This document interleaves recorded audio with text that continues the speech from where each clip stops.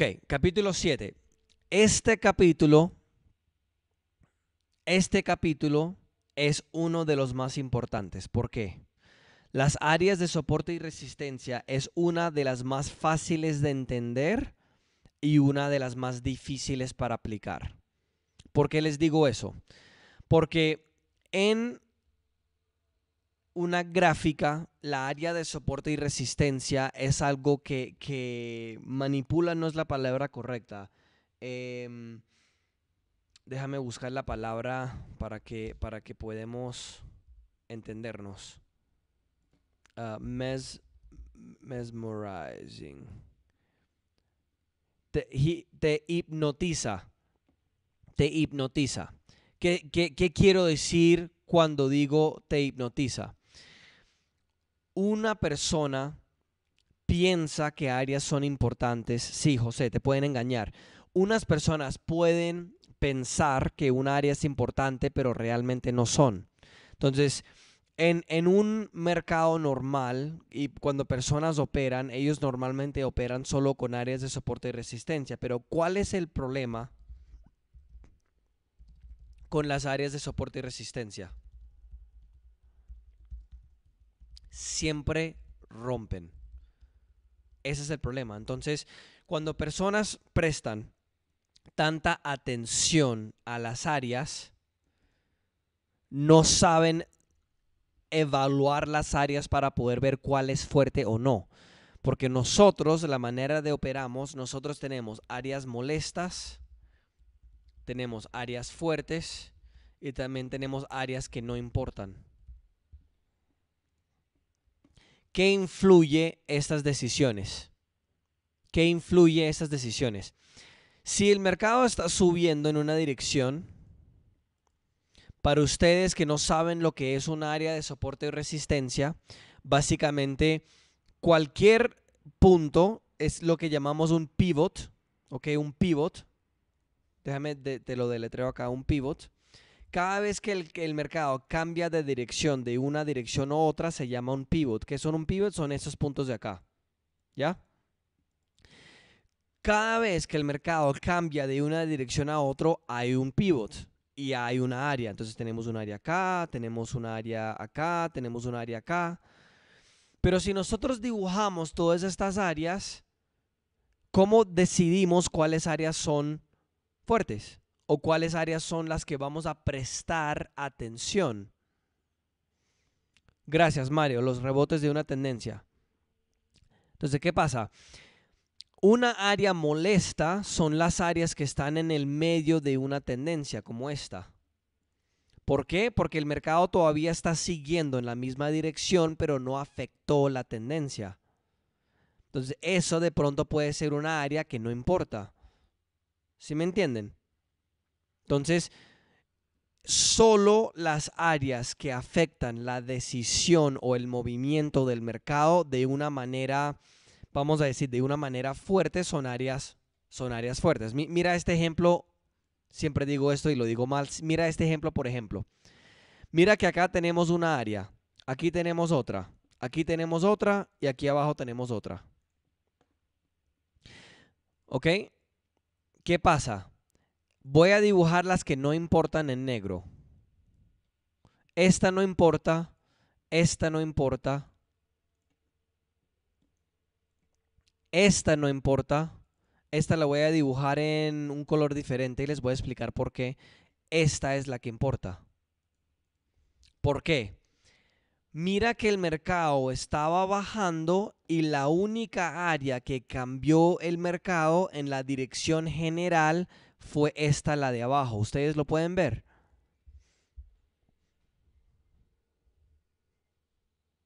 ¿Sí pueden ver? Entonces, las áreas negras nunca dibujamos porque no está cambiando la dirección general del mercado.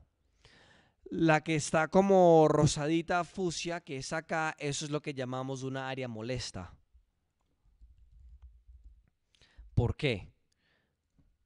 Porque parece que es una área fuerte. Mira que el mercado no siguió yendo hacia abajo, pero no cambió la dirección general del mercado. Y si no cambia la dirección general del mercado, significa que no es fuerte. Solo es una área que te está tratando de engañar. Entonces la área fuerte y la única que yo dibujaría y la única que es importante es la área fuerte, porque esa cambió la dirección general del mercado. También lo que van a aprender poco a poco son el tema de las anclas. Obviamente yo no me quiero adelantar tanto porque poco a poco vamos aprendiendo todo y aclarando todas las dudas que ustedes tienen. Pero e, este es el concepto básico de las áreas de soporte y resistencia. ¿Qué pasa con las áreas? Tenemos que asegurar que nosotros cubrimos todas las zonas o los puntos, los pivots, ¿se acuerdan lo que son los pivots, cierto? De el mercado. Entonces, mira, mira esta zona de acá. Mira esta zona de acá. Esta es una área porque está cambiando la dirección general del mercado, ¿sí? Entonces, ¿qué, ¿qué, pasa? Tenemos esta área de acá, tenemos esta área de acá, tenemos esta área de acá y tenemos esta área de acá. ¿Sí? Entonces, ¿qué voy, a ¿qué voy a hacer para dibujar la área de resistencia? Voy a intentar de dibujar la área para que cubre todos esos pivots. Más o menos ahí.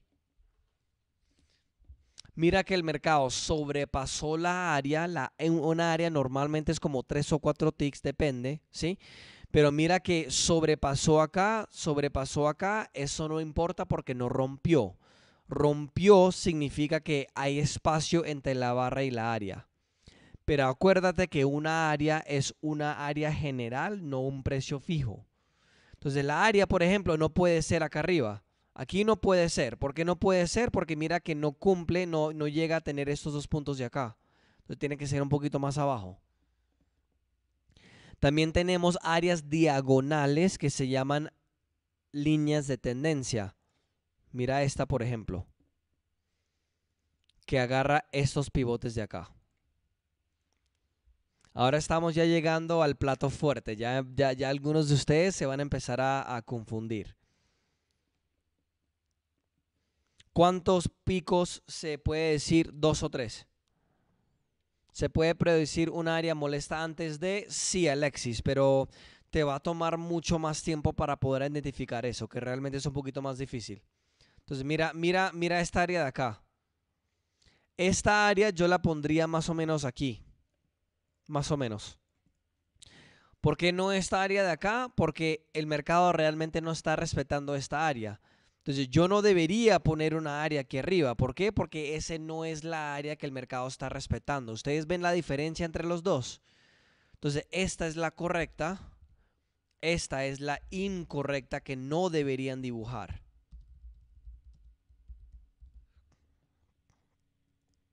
Esto es lo que nosotros llamamos un fobo, falso rompimiento, un fobo, que en inglés es fake out, breakout, que significa falso rompimiento. El mercado rompió, señaló que iba a romper, pero realmente no lo hizo. Entonces es un fobo, un falso rompimiento. Y la área realmente que el mercado está respetando es esta área de acá esta área de acá. ¿Quieres decir que el mercado rompe una área, va a continuar con la tendencia y si respeta la área cambia la tendencia? Correcto, Juan. Alexis, ¿se puede? Ya respondí esa. Camilo, ¿cuántos picos? Son dos, ya respondí. Sergio, debo trabajar, espero poder acceder en la noche a los videos. Es con mucho gusto. Muchas gracias, Sergio, por el comentario de excelente profesor. Lo agradezco. Michael, entonces para poder considerar un área fuerte necesita tener dos o tres pivots. No, no, Michael, no, no, no, no, no. Tiene que cambiar la dirección general. Tiene que cambiar la tendencia. Mira acá, Michael. Mira, vamos a ir poco a poco, ¿sí? Mira, mira a la derecha de a la derecha de la gráfica, porque siempre leemos, siempre leemos la gráfica desde izquierda a derecha. Entonces, aquí, Michael, ¿qué está haciendo el mercado? Si ahorita pensamos de las de las del movimiento básico de los mercados que está pasando acá? Michael.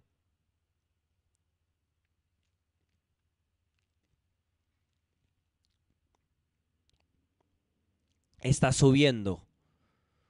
Entonces aquí tenemos una tendencia hacia arriba, ¿cierto? Mira, mira Michael, mira por ejemplo acá, mira que acá el mercado no siguió subiendo, mira las flechas rojas. Entonces, ¿qué pasa? El mercado ya nos está enseñando que no tiene tanta fuerza hacia arriba. Entonces, ya cuando el mercado nos da esta fuerza, si ves esta corrida de acá, que es muy fuerte, mira cada vez que el mercado ha tocado esta área fuerte, fuerte, fuerte, nos está indicando que puede ser una área fuerte.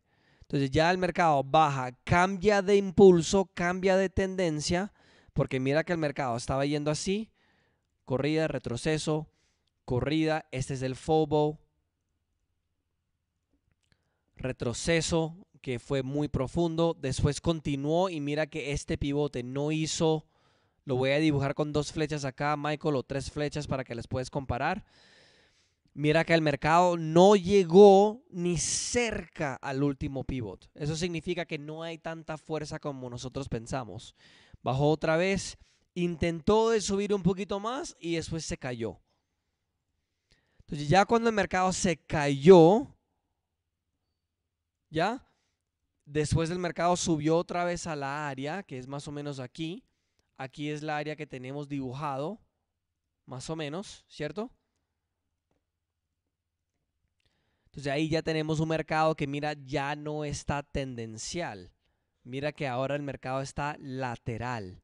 Entonces ya no tenemos tendencia o una dirección, un movimiento en una dirección. Entonces, ¿qué hacemos? No operamos, esperamos que tiene dirección.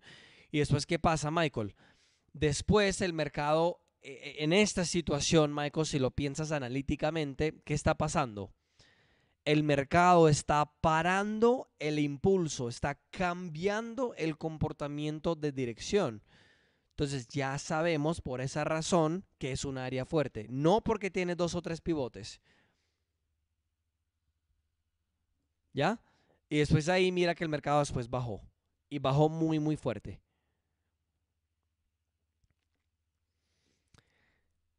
Se puede decir que ahí fue una consolidación. Bueno, eh, mira este ejemplo que yo dibujé acá, Michael.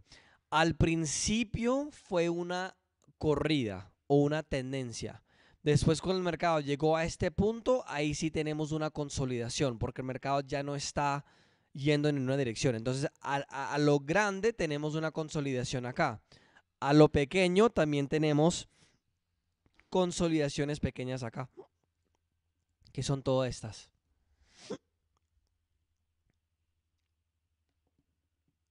Isabel, este último serio movimiento lateral eh, en picado, en la cual no debemos hacerle en trading.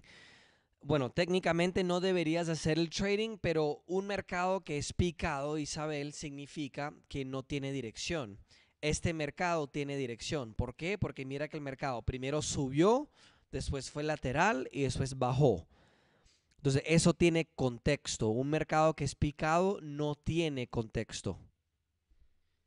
José, el mercado en la mayoría de los casos nos indicará el debilitamiento de las tendencias.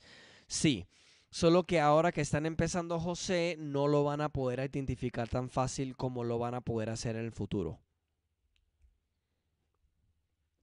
Cuando rompe el último mínimo de la tendencia, se puede decir que ya cambió la tendencia.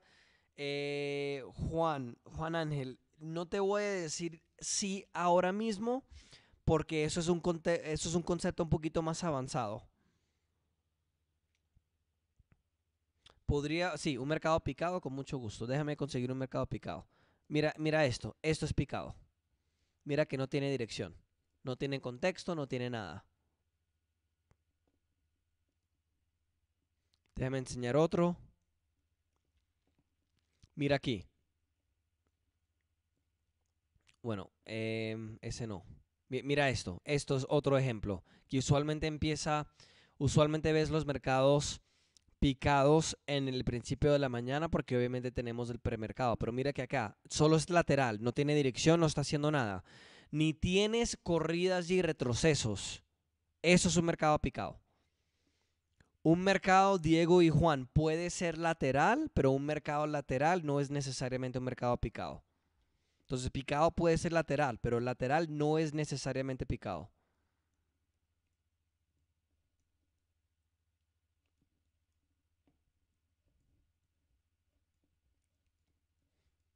Mira, eso es picado aquí adentro, mira. No tiene dirección, no está yendo a ningún lado, ¿sí ves? Eso es picado. Eh, un, un mercado grindy, eh, déjame, déjame deletrar acá, un mercado grindy se puede entender como un mercado inusual. Eh, otra manera de más fácil de entenderlo es un mercado feo. Es básicamente una dirección que, que, que, está feo. Por ejemplo, mira, mira por ejemplo acá esta corrida hacia arriba. Eh, ¿Quién preguntó sobre Grindy? ¿Dónde estás? Luis. Mira este mercado de acá. El mercado sube, mira las corridas, los retrocesos son muy claros. Sí puedes ver aquí en la izquierda. Mira la diferencia entre más o menos aquí a la derecha. Esto es grindy, que es otra manera de, de decirlo, es inusual. Inusual o yo sé que lo deletré mal, me disculpan.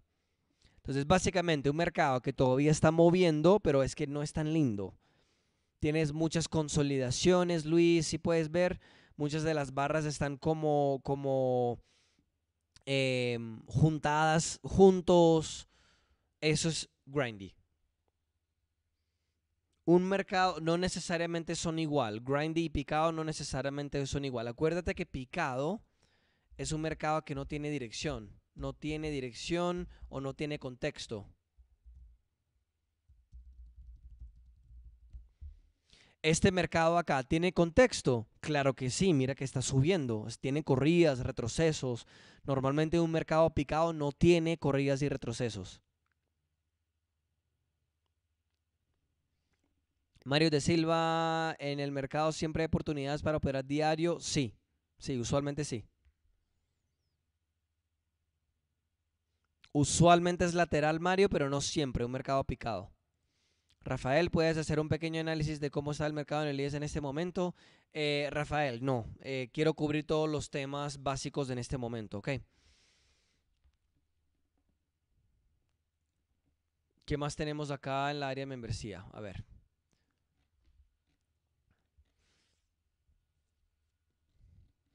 Bueno, ya cubrimos acá las áreas. Eh, pueden, pueden eh, cubrir otra, otra vez ese capítulo. Em, les sugiero también que, que no hagan el capítulo 8, entonces no hagan el capítulo 6 ni 8. No hagan el capítulo 6 ni 8. Bueno, yo, yo creo que ahí, yo creo que vamos a terminar por hoy. Em, si quieren, lo que puedo hacer ahora es, responder preguntas generales. Déjenme ver acá el capítulo.